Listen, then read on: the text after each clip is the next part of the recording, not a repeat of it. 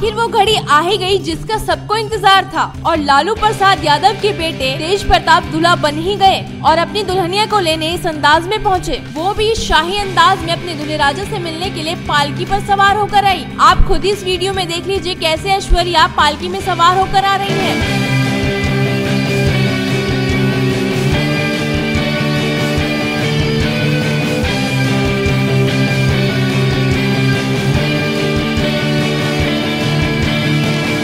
लालू प्रसाद यादव की बेटी की इस शादी को शाही शादी ना कहा जाए तो क्या कहा जाए? इस वीडियो से आपने अंदाज़ा लगा ही लिया होगा। इस खबर पर आप भी अपनी राय ज़रूर दीजिएगा। साथ ही हमारे चैनल हेडलाइंस इंडिया को भी फ्री में सब्सक्राइब कीजिएगा।